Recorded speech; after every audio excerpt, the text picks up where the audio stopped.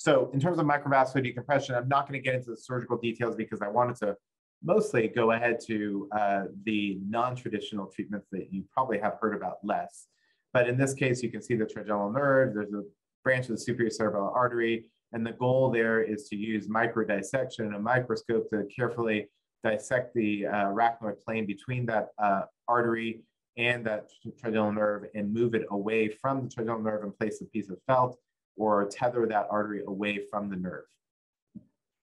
Um, it's still, I think it's important to know that the goal here is not to damage the trigeminal nerve, but there's still a risk of having numbness in the face, just like with radiosurgery and with uh, balloon compression or any other percutaneous treatment.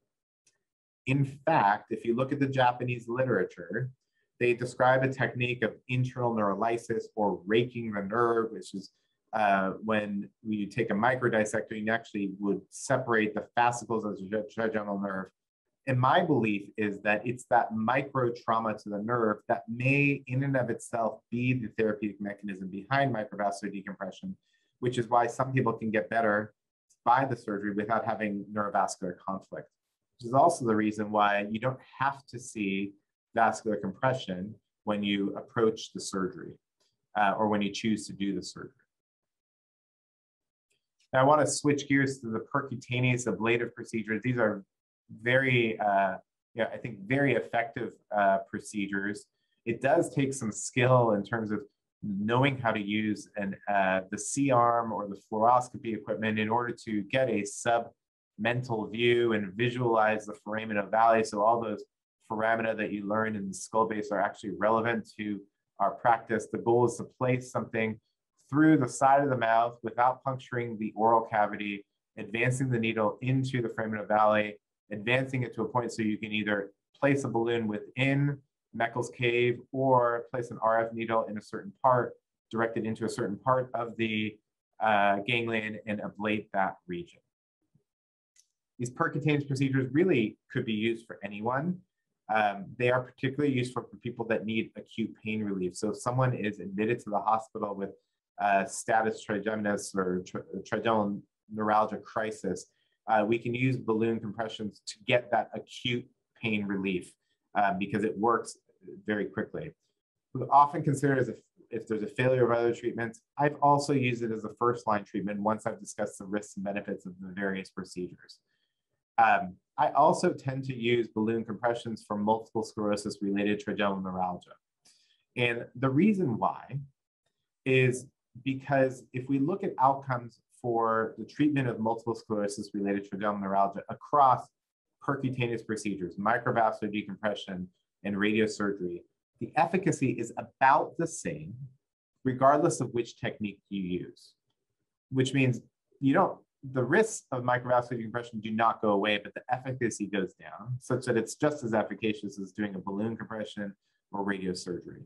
So why expose someone to the risks of an open surgery if you're going to get the same outcome? And so that's why I've generally tended towards a balloon compression with MS-related trigeminal neuralgia.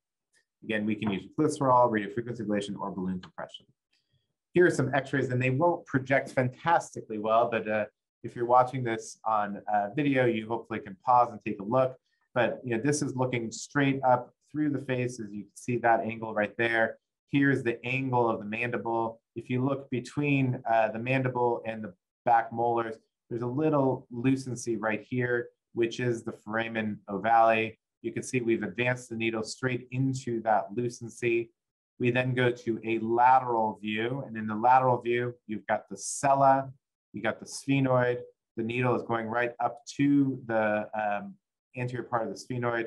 When we inflate the balloon, it fills up Meckel's cave, and actually the tip of the balloon becomes deformed, and it's filling what we call porus trigeminus. That's where the trigeminal nerve enters Meckel's cave before it splits into the ganglion, or the ganglion splits into the three divisions. In my experience, many studies will show that if you get this deformation, you have a higher likelihood of getting pain relief for the patient with trigeminal neuralgia symptoms. Um, this can also cause a significant bradycardia. In fact, it can cause an asystole, which can alarm uh, your anesthesiologist. So you need to let them know ahead of time. Sometimes they'll place pacers on the patient. Um, in any case, you need to have uh, let, let the anesthesiologist know so they don't get scared. Uh, in terms of outcomes, and we're going to look at some relative outcomes, but I, you know, balloon compression being one of my preferred treatments. Um, you know, the thought is that it preferentially injures the medium and large myelinated pain fibers. The patient is asleep. These patients are often in a pain crisis and they can't really wake up and cooperate with the, the testing for a radiofrequency ablation. You get preservation of the small myelinated fibers, uh, which is uh, good for maintaining sensory reflexes. Um, and, and the initial pain relief you know, is not too far off from what you get with a microvascular decompression. It's about 90% is what I tell my patients with uh, some recurrence. About 20% of patients are going to have recurrence at three years. Um, some dysesthesia, so anesthesia, dolorosa. dysesthesia meaning some uncomfortable numbness, anesthesia dolorosa, true anesthesia dolorosa is extremely rare, uh, but it can happen and I do counsel my patients about it. Glycerol rhizotomy um, is same approach, but instead of um, instead of uh, using a balloon, you inject some uh, radio opaque solution with high uh, concentration glycerol. And the idea there is to irritate the nerve with the glycerol. It's best for V3 distribution because the glycerol will settle into Meckel's cave, which you can see here. You can see the dependent fluid level. That's the fluid level. That's the glycerol filling Meckel's cave. Some initial good relief, but the recurrence rate is actually much higher with glycerol. And that's why, in my experience, I have not been using glycerol very often. It's also very hard to get pharmacy to formulate that. Um, and finally, there's radiofrequency ablation, uh, which uh, I do use, particularly when a patient has a very specific distribution of pain. I prefer not to use it for people with a a V1 or pain in their forehead or eye because I don't want to get corneal numbness my experience is that people get a denser numbness with radiofrequency ablation, although it can be very effective. Uh, but you can see that the effect, the efficacy rates are somewhere between 80 and 95% again, uh, but recurrence rate is fairly high as well. So I use it for targeted treatments. Finally, we'll look at uh, radiosurgery, and radiosurgery is um, you know very uh, non-invasive. Um, it's focused radiation at the root entry zone same area that we'd be operating on with an open microvascular decompression. Um, and what you can see is that the probability of sustained relief, there's a high rate of relief in the first six months, um, but there's a high rate of recurrence also. Uh, so if you have an early excellent outcome, you're going to stay pretty good, but you see about 30% are going to have a recurrence. You can, though, but if you don't have a good relief early on, you're going to fall off that uh, map pretty quickly. And so you can, you might need further treatments. We should note, I mean, people can go in any order, right? So you can get radiosurgery and then get a balloon compression, a microvascular decompression. You can get a microvascular decompression, then a radiosurgery. Although once you have a microvascular decompression, it can be harder to see the trigeminal nerve. But no one treatment rules out the next treatment.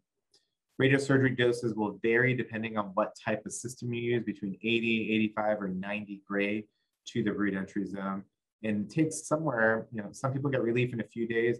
I generally tell my patients to wait up to three months, but usually four to six months to get their pain. Hey everyone, Ryan Rad here from neurosurgerytraining.org. If you like that video, subscribe and donate to keep our content available for medical students across the world.